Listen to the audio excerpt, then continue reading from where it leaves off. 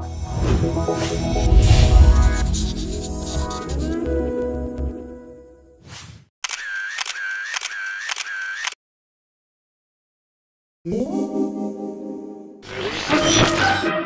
great scientific experiment begins.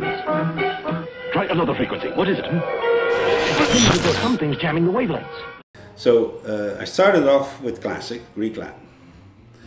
Uh, then I did degree in engineer in in science in phys- sorry in mathematics. Okay, because I didn't have enough math to go into engineering. I thought engineering was the way to actually do action on the real world. Right.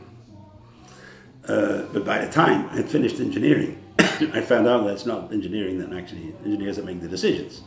It's business people that use engineers to implement whatever they want to do. So, you know, and I went to the States to do that. So that's how the sequence was. So there's no contradiction.